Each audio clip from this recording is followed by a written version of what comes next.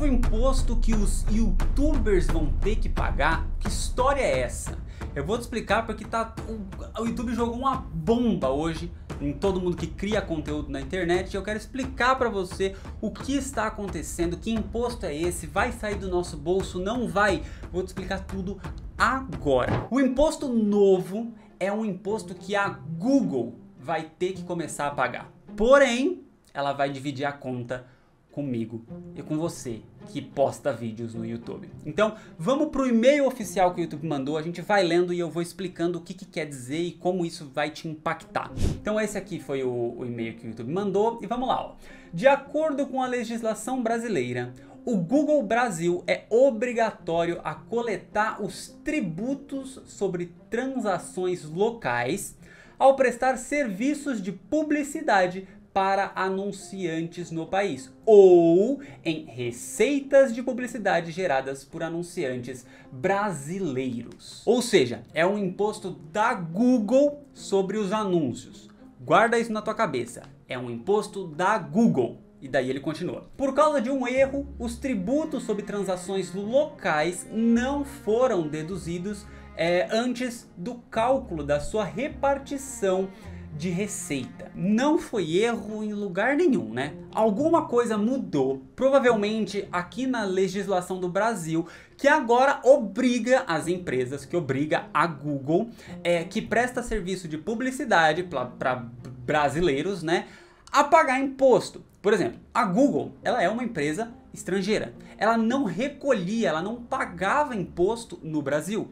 Tanto é que a gente recebe em dólar, porque a Google ela é uma empresa estrangeira. Inclusive, será que agora, num futuro, a gente pode até esperar receber nosso dinheiro em reais? Bom, eu não sei dizer para você ainda, mas pelo menos seria uma coisa positiva que ia sair dessa história toda, mas vamos continuar para você entender aonde que entra o problema aí desse negócio de imposto, tá? O Google não considerava esses tributos como receita.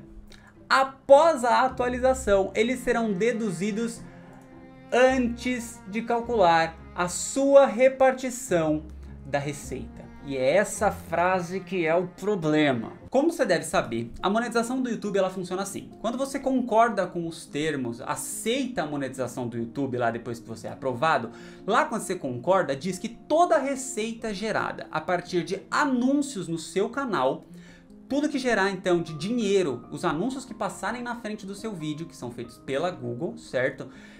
Vai ser repartido todo esse dinheiro em duas partes metade fica com você, um pouquinho mais da metade fica com você, e a outra parte do que restar fica com o YouTube, fica com a Google. Essa é a repartição que é e sempre foi assim, certo? Todo o dinheiro gerado, um tanto vai para o criador, um tanto vai para a Google. E agora que a Google e o YouTube vão ter que pagar esse imposto novo o que acontece é o seguinte: ao invés da empresa Google pagar o imposto com a parte dela que sobrou, eles não vão fazer isso. Eles vão dividir a conta com a gente, só que de outra forma. Eles vão pegar o dinheiro todo, 100% que fez o teu canal de monetização, eles vão pagar os 14%, não sei quantos por cento de tributo, de imposto, e depois que eles pagarem essa, essa conta e esse imposto, aí que ele vai dividir a tua parte e a parte deles. Por isso que, se você é pessoa física, se você é MEI, se você é pessoa jurídica, tem empresa, já paga imposto, esquece tudo isso.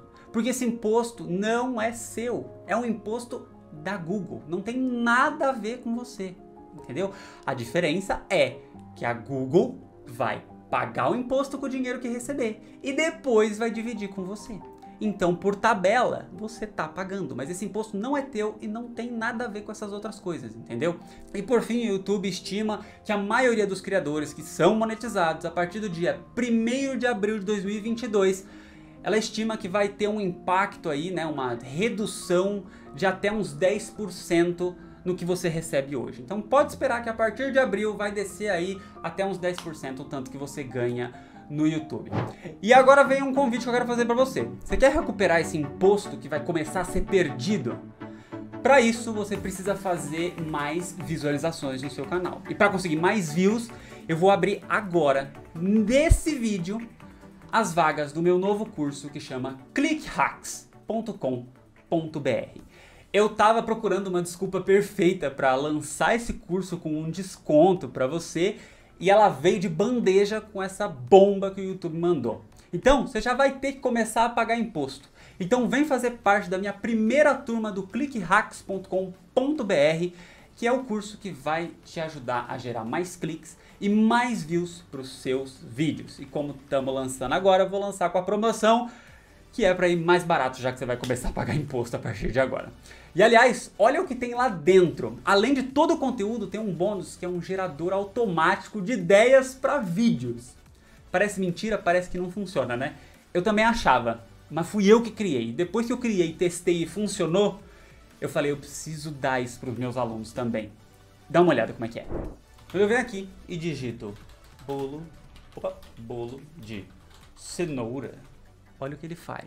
Você vai digitar uma palavra, uma palavra do seu canal, uma palavra de vídeos que você até já fez, e ele vai começar a gerar para você várias ideias que você pode desmembrar e fazer vários de vídeos diferentes. Olha aqui, eu posso fazer um vídeo de razões que o bolo de cenoura é alguma coisa. Então aqui eu coloquei é o futuro, mas não necessariamente eu posso colocar o futuro. É a melhor sobremesa. Resolvido. O caminho mais rápido e fácil para fazer um bolo de cenoura, a receita em si. Não seja enganado pelo bolo de cenoura cremoso e já é outro vídeo. Então só de escrever bolo de cenoura aqui, ó, eu já tenho três ou quatro tipos de vídeos diferentes. E você vai clicando em gerar mais aqui, ó, e ele vai gerando, gerando, gerando. Então acessa agora clickhacks.com.br e comece a gerar mais cliques e views nos seus vídeos do YouTube.